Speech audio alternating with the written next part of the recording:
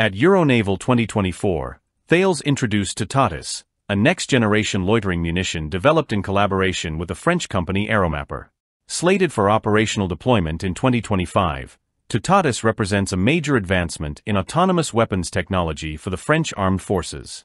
It is specifically designed for high-intensity operations, providing rapid, autonomous strike capabilities to neutralize targets in complex electronic environments. Loitering munitions, also known as kamikaze drones, have already proven their value in recent conflicts like the Second Nagorno-Karabakh War and Russia's invasion of Ukraine.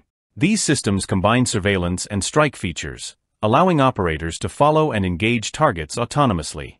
In response to this growing need, France initiated several programs in 2022 to support domestic loitering munition production.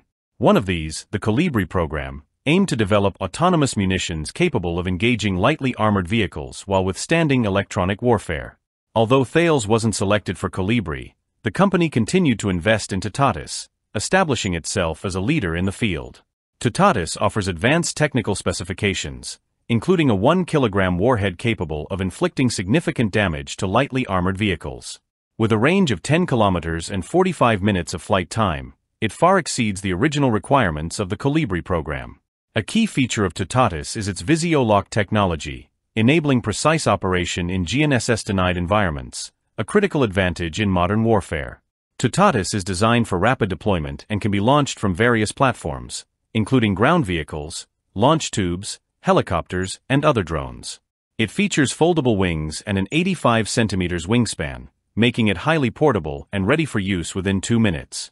This fast activation time ensures that the munition can be rapidly deployed for precision strikes in dynamic combat situations. In addition to its flexibility, Toutatis is optimized for both day and night missions and is compatible with other ISR drones such as Spy Ranger, Noctua, and Grizzly. These drones locate and identify targets using optical sensors, transmitting data to Toutatis for controlled engagement. This interoperability enhances the accuracy of strikes while reducing the need for direct operator intervention, streamlining battlefield coordination. Toutatis is a key component of Thales' broader strategy to provide advanced, AI-driven solutions for the French armed forces. The company is also developing autonomous drone swarms that can conduct missions without human oversight, improving situational awareness and target acquisition. During a demonstration in October 2024, Thales showcased how these drone swarms can reduce cognitive load on human operators while increasing mission efficiency. The development of Toutatis and other autonomous systems signals a new era in modern warfare. Armed forces around the world are increasingly relying on precision, autonomous technologies, and Toutatis stands out as a strong competitor against well-established models like the AeroVironment Switchblade, Israel's UVision Hero, and the Lancet used by Russian forces. Thales is not only contributing to France's technological sovereignty, but also positioning itself as a key player in the global loitering munition market.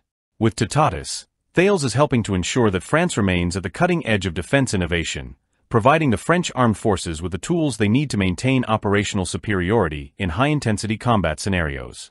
As Toutatis becomes a central asset in the French military's arsenal, it is clear that Thales is paving the way for a future of more precise, efficient, and autonomous warfare.